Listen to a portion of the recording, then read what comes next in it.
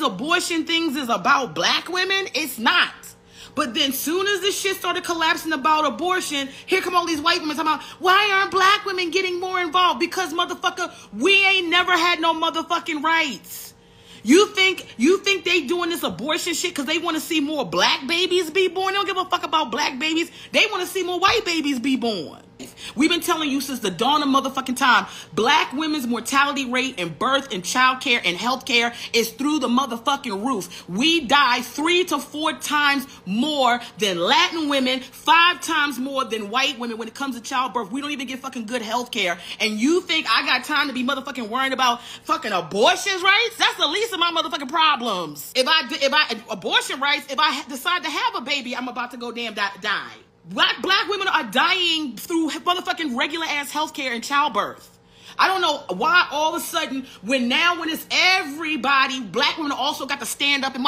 I'm sorry, we wounded. We're wounded. I've said this before. You cannot expect us to help. We are wounded. That's like asking a person that just got shot in the arm to help a motherfucker that just got shot in the thigh. Nigga, we both shot, but I, I got shot first. Go find somebody that haven't been shot yet. And then as I'm sitting here trying to suture up my own gaping wound, somebody's telling me, hello, stop suturing up your gaping wound and go come help us.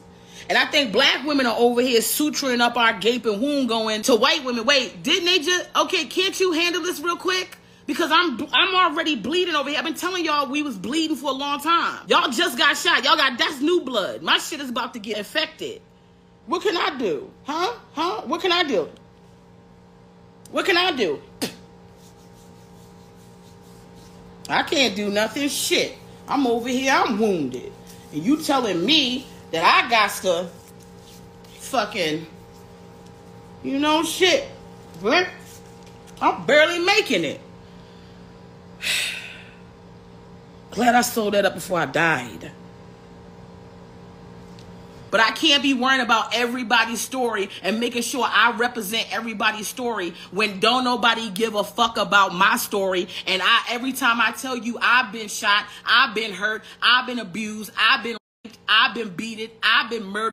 I've been disrespected. I've been undermined. I can't get no help. I'm starving. I need a place to be. My kids are suffering. All this other shit. You keep telling me my shit don't matter. Don't look, don't worry. We'll, we'll, get to you when we get to you. They've been saying it to black women for the longest. We'll get to you when we get to you. We know y'all dying disproportionately to everybody else. We know y'all going for childbirth, expecting to have a beautiful baby. But you know what? We'll let you bleed out. The way black women die through motherfucking childbirth in this country, you would think we was in a third motherfucking world country that didn't have no type of medical care, no type of medical health.